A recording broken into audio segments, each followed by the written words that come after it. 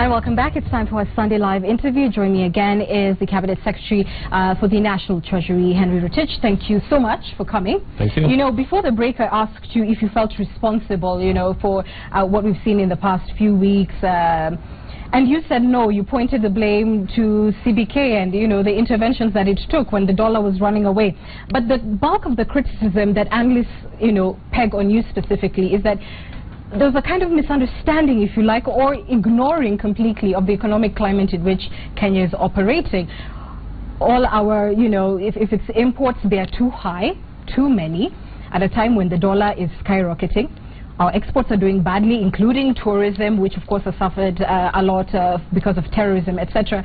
And that in that kind of context, prudent um, management from yourself would be to slow down to wait for things to stabilize and not really push things so fast with the backdrop of, you know, an election in, in a year and a half and the need to have that photo op with a great standard gauge railway, that some of these projects could have waited for another time. How do you respond to that? Well, first on the, uh, uh, I didn't say I pushed the blame to the central bank. No, what I said that. What I did, what I did say is that, uh, yes, because of the you know pressure on the exchange rate, which weakened up to 105, uh, the, the, the right policy really is to uh, adjust the, the, the interest rate, which they did.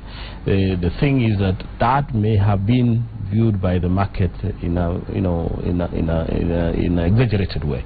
You know they just raised it by 300 basis points, and uh, other rates moved up much higher than that. So uh, obviously uh, we didn't uh, expect to be in that uh, situation. But now uh, on the issue about uh, what you've raised about you know the infrastructure investment at this particular time, you know it, it is very important that we stay on course in our economic growth. And one of the key things that we need to unlock is investing in infrastructure.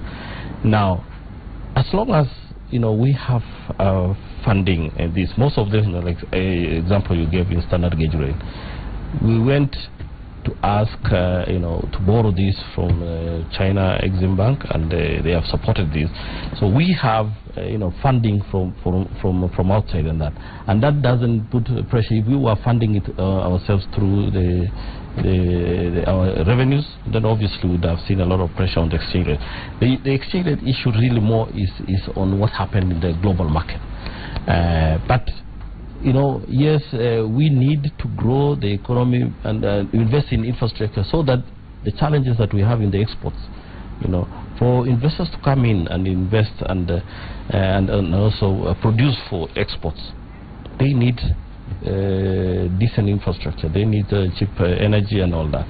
So really, you cannot hold the economy and say, okay, now there's a challenge here, we can't do investment, and yet you have space in terms of, you know, you could access, uh, you know, financing and unlock the constraints that is facing the economy. So exactly this is what we are trying to address. And part of these things will be seen you know, in the medium to, to the longer to term. the long term. You're talking about money being there, but you, you see, that's the thing. M money is there to borrow. The, the question is at what cost you're going to borrow and whether we can afford to repay it. And a lot of people um, who, who talk economics are uncomfortable with the sort of cozying up we are having with the IMF, that just because they're willing, you know, to give you on paper this good review, that it is not in tandem with the actual statistics of the economy, which the fact is is slowing down. Our revenue uh, collection is not what had been projected. And so while money is there, we, we shouldn't necessarily be taking it because we can't afford to pay it back. Well, you know, the uh, when we are borrowing, if you actually look at the, the rates that we are borrowing now, uh, you know, like the one of China Exim it was just uh, two percent. You know, uh, two percent before we used to have, uh, you know, rates, uh, if you borrow in international market, it used to be the US, uh, plus, US T-bills plus, about 8% to 10%. So this is a, a, good opportunity for many African countries to deal with the infrastructure problem. And we are doing that uh, uh, exactly. Uh, now, uh, this issue about uh, saying that it is uh, done uh, at the wrong time and all that, I think I just explained to you that uh, we, we needed to do this now so that we unlock the constraints. The IMF role here is, you know, IMF uh, we had to uh, continue our program with IMF. In the last uh, financial, uh, in the last uh, five years or so, we had a program with IMF.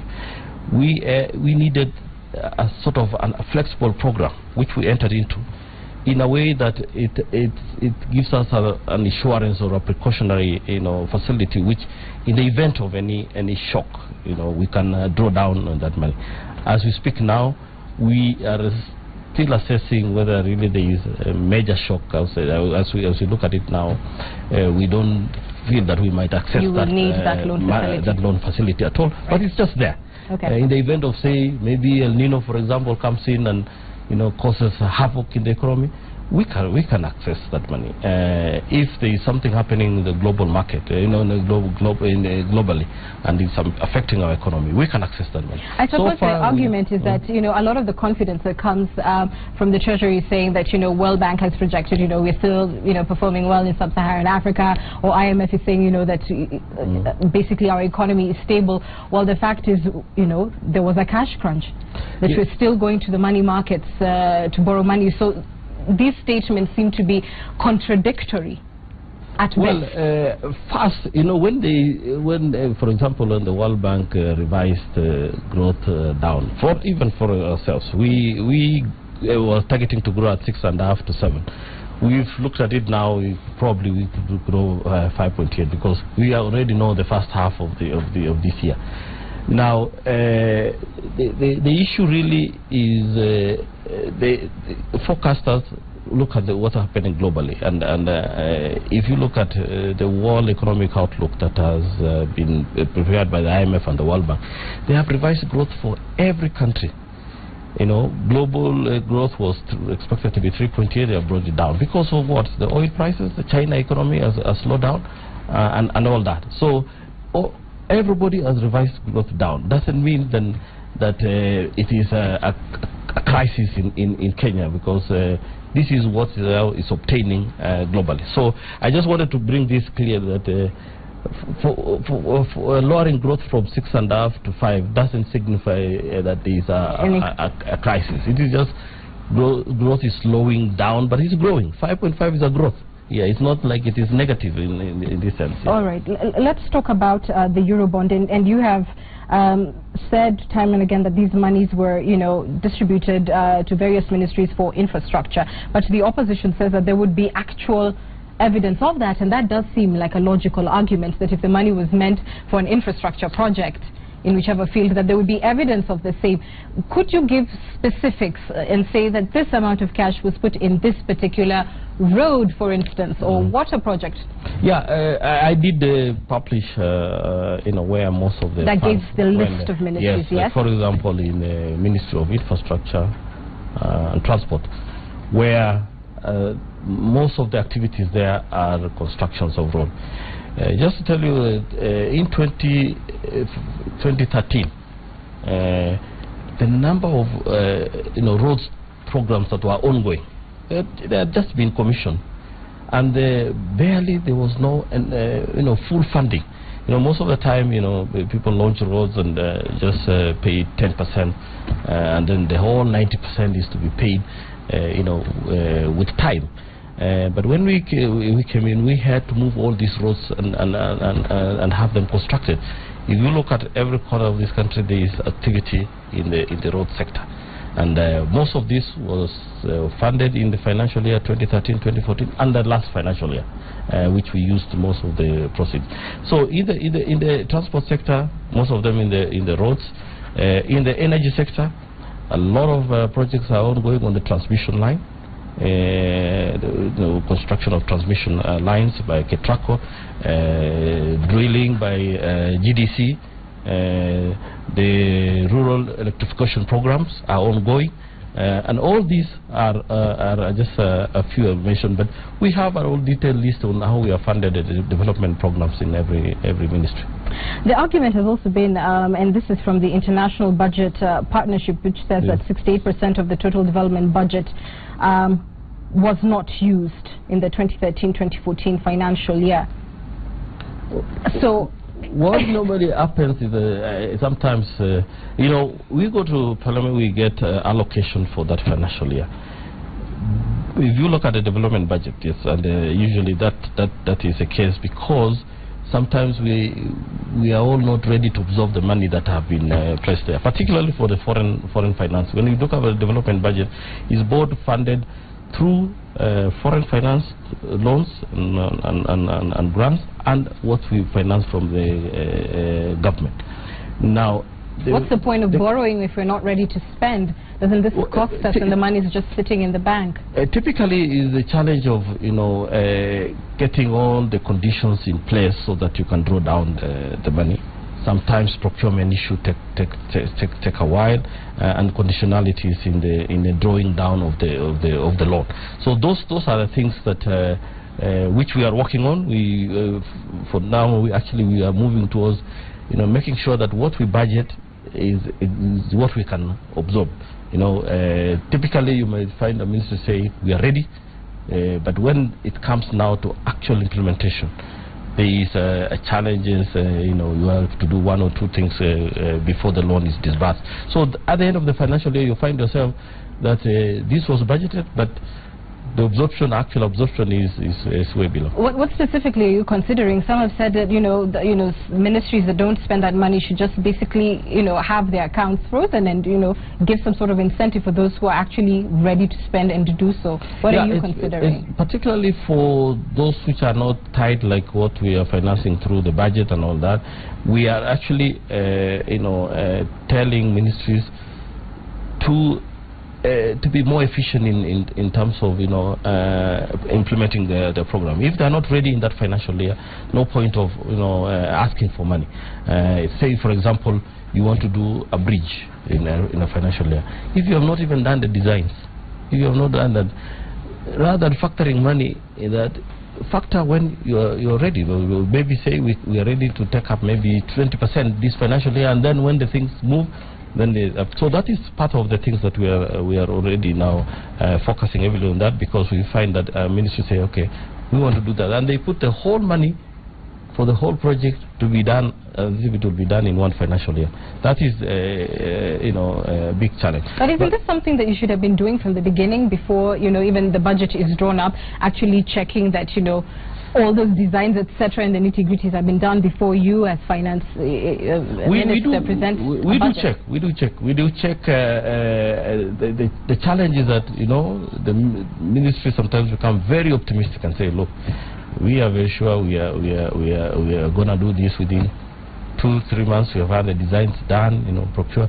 But when it comes to reality, and some of the things, you know, you start procurement nowadays takes almost uh, in the current law that we have takes almost uh, three to six months to get procurement ready. So, and that's why we have told ministries, before the beginning of the financial year, give us your procurement plan.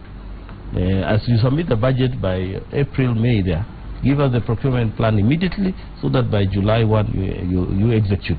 Uh, but typically you find, you know, procurement running all the way to the middle of the financial year. You speak very... Uh kindly, and I suppose what can we expect of, of your cabinet colleagues? But the mm. feeling is that they're simply ignoring you, not just you know in terms of, of spending, but also in terms of you know uh, spending plans. I beg your pardon, but austerity measures that you're saying cut down on this, that, and the other, and they're ignoring you left, right, and center. What can you actually do that if a cabinet colleague in pick your choice of ministry is not toeing the line, then you can you know seal the loopholes, close the tap on them. This particular financial year, uh, basically when I, I, issue, I designate accounting officers, um, which basically are all permanent, uh, are all principal secretaries, uh, we have informed them very clearly that they have to execute their budgets within the specified uh, period of time. So a lot of, uh, there's a lot of uh, improvement, but not, we are not, we are not, not yet there.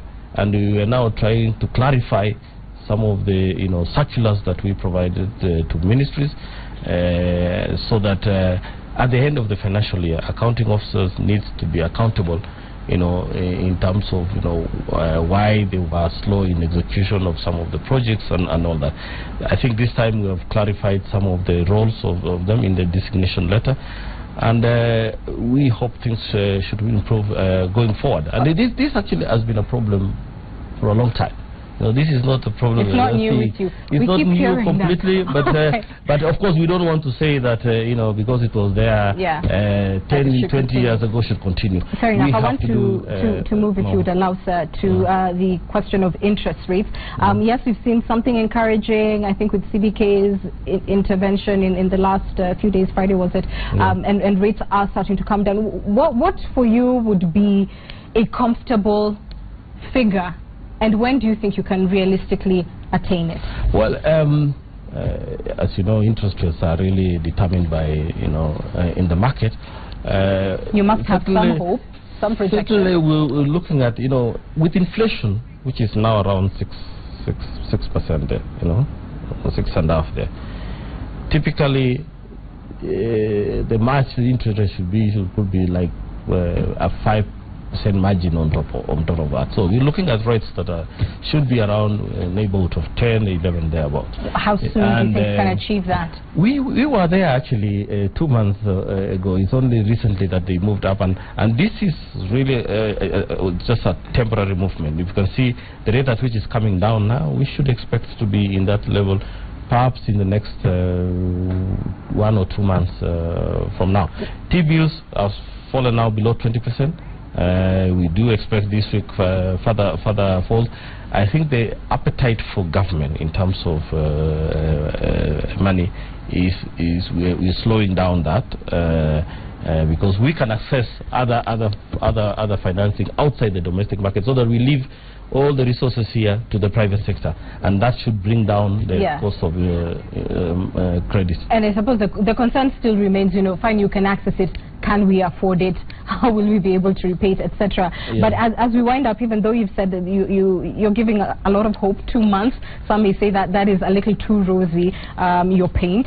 Uh, but should that be the case, people still feel the damage has already been done. The shocks have been felt and suffered by small business owners. They've been suffered by those who have borrowed uh, bank loans. And, and that while you sit here and say, you know, we are on our path to recovery. It's real ordinary people who have their little hustle together, who are paying the price for this, and that there's no accountability on the part of the Treasury for getting us there in the first place. Those who say the buck stops with you and that you should be held accountable. What is your response to that? Well, uh, the, for sure, uh, the, the lending rates the way they are now is, uh, is unacceptable, and that is why we are uh, doing all what we need to do to make sure that they, they come down.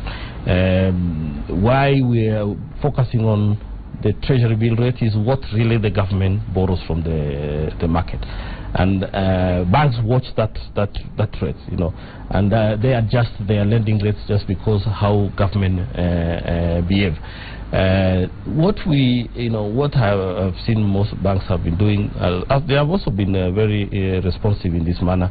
Existing loans have not been basically really adjusted, especially for for for for small scale borrowers what they have done is... Some would argue to the uh, contrary, that it's gone up to even 30%. Yes, for, for the new loans, yes, uh, the, a few banks have adjusted uh, uh probably to above 20, 20, percent Others are still in the neighborhood of about uh, 18, 20% uh, thereabout.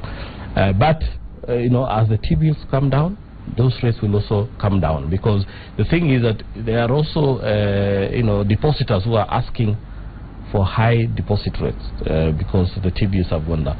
So what we are looking at here is that if uh, the T-bills continue to come down to the levels I've just talked about, 10, 11 percent, the lending rates should go back to where they were about uh, you know uh, a year ago, which was about uh, around uh, 14, 16 percent thereabout. It's an economic question, but some feel there should be a political price paid by people such as yourself for the same. Well, I don't, I, don't, think we have been in this situation in 2011. If you, you compare uh, 2011, it was even worse. Uh, and uh, uh interest rates were over 20%. They were even about 27. Inflation was 20%. Uh, so this is Best not worst performer.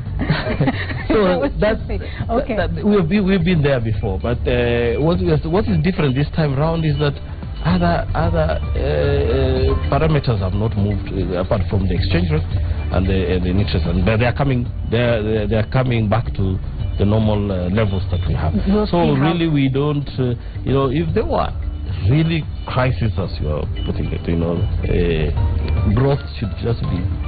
We should not be growing. We should, should not be growing talk about zero percent or negative growth. Let's hope that never happens. Yeah. Thank you so much for your time. The. National Treasury CS Henry Rotich will watch these rates in the coming week. We're taking a short break. We're back with more on Sunday Live.